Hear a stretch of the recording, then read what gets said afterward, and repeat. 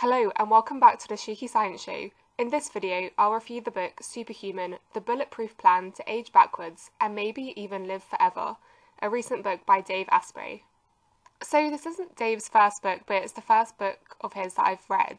And I mean, overall, I actually found it quite an interesting read and somewhat entertaining at the same time.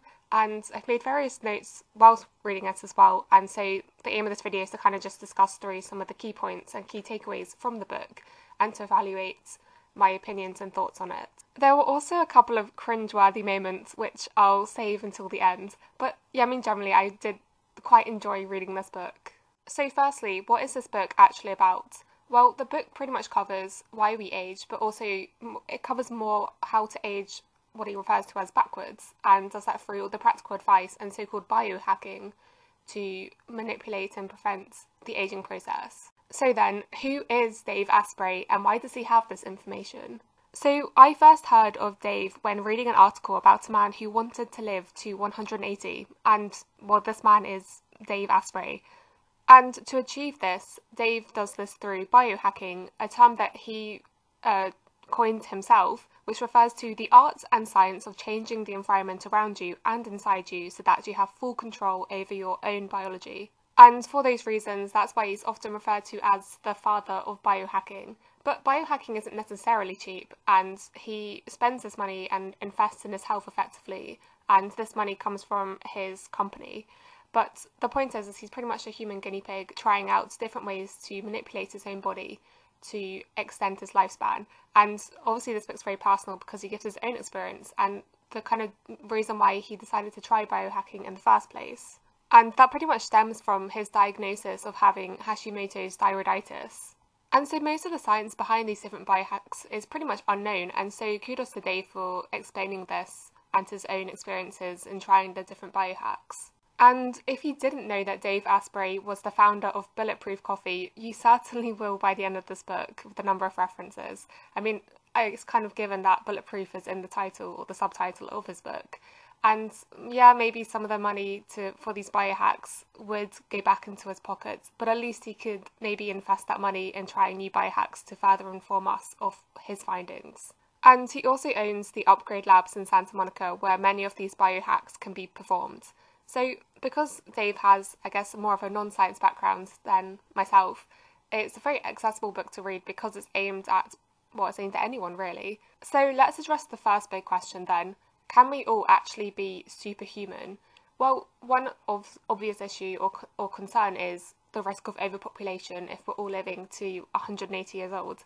But I mean, Dave's opinion is that if there's equal access to education and healthcare, then there actually would be negative population growth. I mean, whether that's feasible, I'm not entirely certain. Um, at least what timescale that would be achieved, I also don't know. But it is definitely worth mentioning. And the other concern that Dave mentions is quite a good point, and that is anyone who wants to be a superhuman being quite selfish. And his opinion is that, well, to be able to do this, you'd need a planet to live on as well. And so, sustaining our planet at the same time is of high priority for anyone who would want to be a so called superhuman. But the idea is that if you live that long, you could pass on your knowledge to younger generations to advance the human race. And so, can everyone be superhuman? Well, I think, and I think Dave enforces this opinion, there are all ways that any of us could enhance our lifespan, even if it was by a tiny amount, just few s- small changes within your life. And some of these can be done for free, which will be discussed in the book. And obviously, reading this book reminded me of the recent book that I read, which was Lifespan by David Sinclair. And so I think there's a little bit of overlap, but it's a very different book to Lifespan. So let's get to it then. How does Dave Asprey reckon you can become superhuman? Well, broadly, he says the one thing you need to do is remove the things that make you weak. And this is to avoid what Dave refers to as the four killers. So this includes heart disease, diabetes, Alzheimer's, and cancer. And these killers are more the kind of killers of the developed world as it ignores infectious diseases. But one thing that does link these different killers together is inflammation, and that is something that is critical and kind of underpins the process of aging, which is reinforced in this book but also in David Sinclair's book Lifespan. So, within the book, you'll learn about how the gut microbiome is tightly connected to heart disease and also look at the impact of having a high sugar diet and the link not only between diabetes but also Alzheimer's disease. So, how can you prevent the four killers and become superhuman? Well, you need to prevent the seven pillars of aging. And so, Dave uses this analogy to reinforce the point that you need to maintain these pillars that deteriorate over time and cause the aging process. And these different so called pillars of aging is pretty much a different way of thinking about the different hallmarks of aging, which I've spoken about before.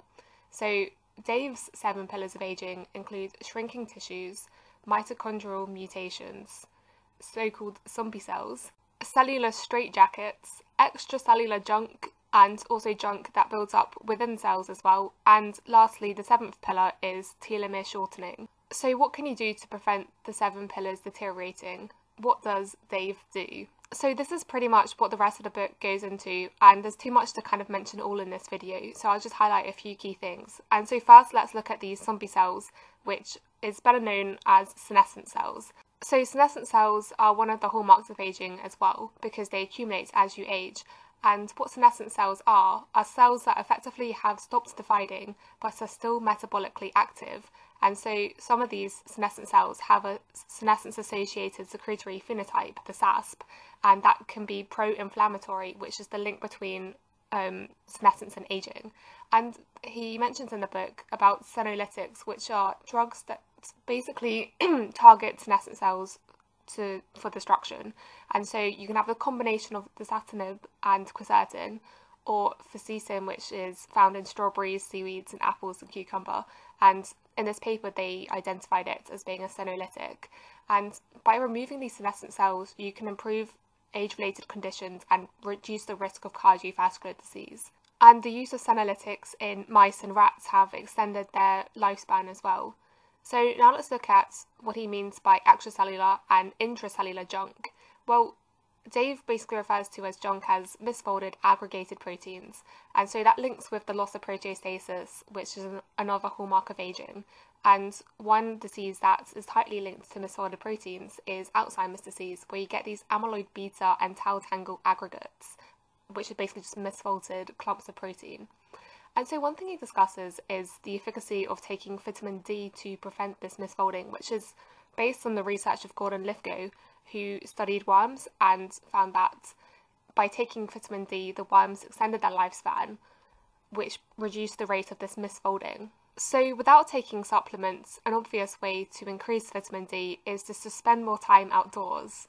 And according to Dave, if you want to be superhuman, it's best to do this in the morning, and that's because of the stimulation of the circadian rhythm by blue light. And I like this quote by Dave that blue light is the high fructose corn syrup of lighting. And it's true, I mean, the um, availability of blue light late at night is what also disrupts our, our sleep patterns. And sleep is very important for becoming superhuman, as we'll discuss later. But light isn't only a bad thing, it can also be a good thing and he discusses something I hadn't heard of before, which is intravenous light therapy, which basically stresses cells and has a hormetic effect to stimulate the stress preventing pathways in the cells. And this is by introducing UV light directly into the bloodstream. Well, I couldn't really find too much information about this, so I don't I can't really comment on how effective this would be or if it's safe. So I would just stick with walking for now. But the second thing he mentioned was infrared light therapy. And so more is known about near infrared light therapy as opposed to UV therapy, at least what I could find in the literature. But I still don't know too much about it, and so I can't really comment. But I think it's something that, if there's more interesting research, I think, yeah, there could be something there. I don't, don't really know at the moment. But Dave has tried both these therapies and has claimed that he has noticed benefits. So who knows?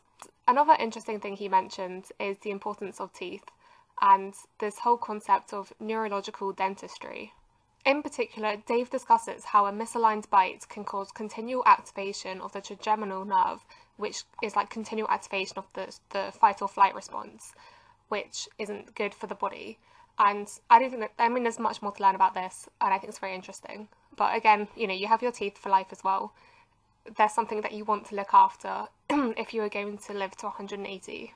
And then a big chunk of the book actually discusses about diets and what foods you should and shouldn't be eating to become superhuman. So, firstly, I feel like I couldn't have a video about Dave Asprey if I didn't mention the origin of bulletproof coffee. So, according to his website, Bulletproof Coffee, aka Butter Coffee, is an energizing beverage made with quality fats and high quality coffee beans. But where did it originate from? Well, it came from when Dave was handed a creamy cup of traditional yak butter tea by a kind Tibetan woman, and having drunk this tea, he said it was delicious, but more important, I felt like it brought me back to life. I was suddenly and remarkably full of energy. Following this experience, Dave then tried to reproduce this in a way that worked for him, and henceforth came Bulletproof Coffee. Now, I haven't actually tried it myself, so I can't actually comment on how energizing it is, but you know, um, I'm sure you could read his book or many of his videos where he'll tell you all about it. So, moving on, the next thing we'll look at is fats in terms of omega 6 and omega 3. Now, there's lots of contradictory advice given in many different kind of diet books about what you should and shouldn't eat, but here Dave keeps it quite simple, and simply you should eat omega-3 fats and avoid omega-6 fats. It's simple and it makes sense. So, yeah, it's all about eating the right type of fats. Now, one interesting story that Dave mentions is the origin of cornflakes by Mr. Kellogg's and how actually cornflakes was developed to lower the male libido. And so this obviously I thought was quite an interesting story. I had no idea about this. And it's due to the fact that cornflakes is very high in carbohydrates and very low in fats. And this is thought to manipulate and alter the hormone levels, in particular for males, testosterone. But I still like cornflakes. They may be bland, but they're brilliant. Anyhow, another big and very hot topic at the moment with regards to food is its relationship with gut microbiome. So, in case you weren't aware, we aren't just made up of human cells, we are full of bacteria as well. But these aren't necessarily bad bacteria, they are good in terms of being able to break down, in particular, fibre and other things that we can't digest ourselves. And so, there's quite a lot of evidence now that links what you eat to what species of these bacteria you have in your gut. And so, Prebiotic fibre is good for having a strong microbiome because it increases the amount of bifidobacteria present. And this bacteria has been shown in this paper to be able to reduce the leakiness of the colonic mucus layer, which basically protects your cells from all these bacteria that are there doing their good job. So, if these results can be confirmed in humans, there could potentially be a future where we see more frequently microbiome transfers to alter the species that you've got present. So, not only do you need to eat well to become superhuman, you also have to sleep well. And so, I talked about sleep and the video with the elf picture that you just saw uh, not too long ago, and reinforced the point that short sleep predicts all cause mortality. And so Dave Asprey mentions some tips to help you sleep better and also ways you can track your sleep. But he also says that not only does how much sleep quality you get, but also sleeping position is also important. And one of the best ways to sleep if you want to be superhuman is to sleep on your sides. So why? Well, there was a study done on rats where they found that sleeping on the side improved the glymphatic clearance, which is the system that removes um, junk effectively from the brain, and this happens whilst you sleep.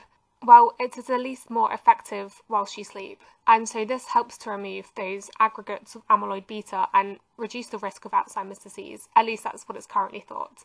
It is currently still waiting human confirmation.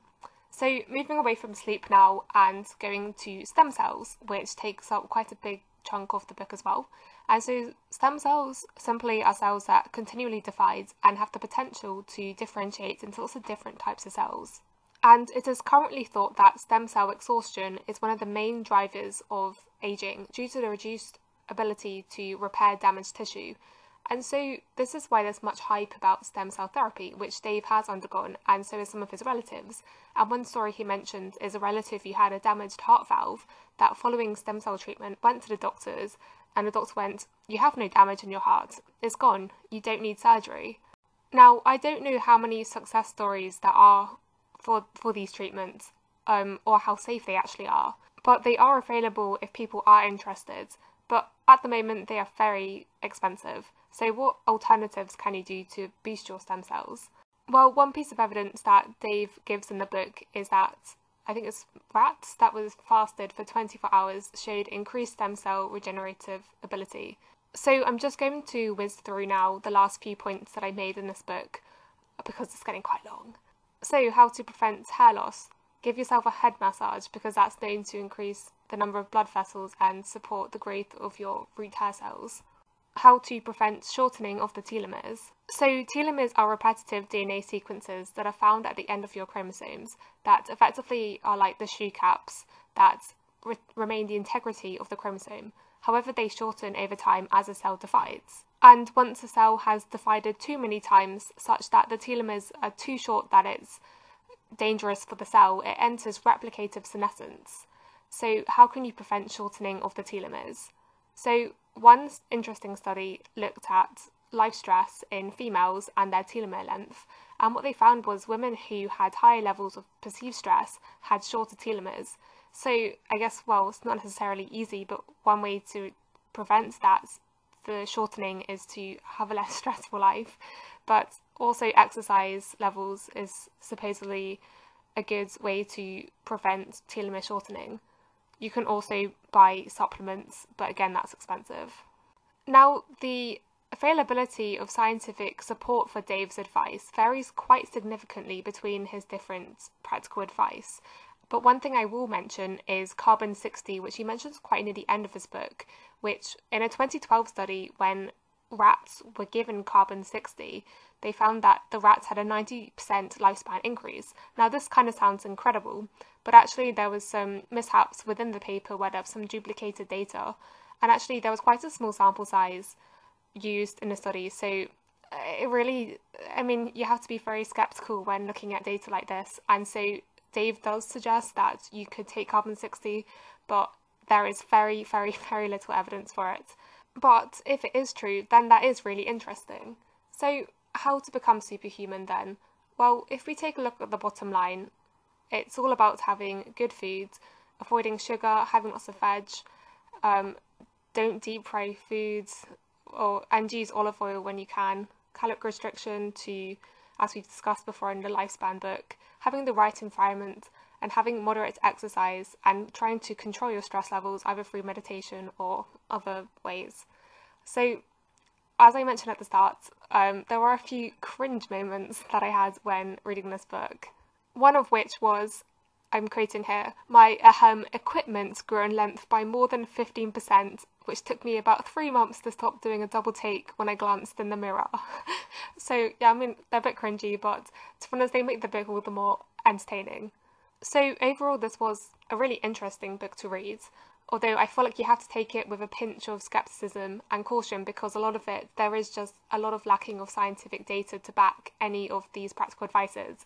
But for those like Dave who don't really care too much about it and if there's any kind of hope we'll just go for it, then sure, it is a really good book to read and contains advice that could add years to your life. So, as always, thanks for listening.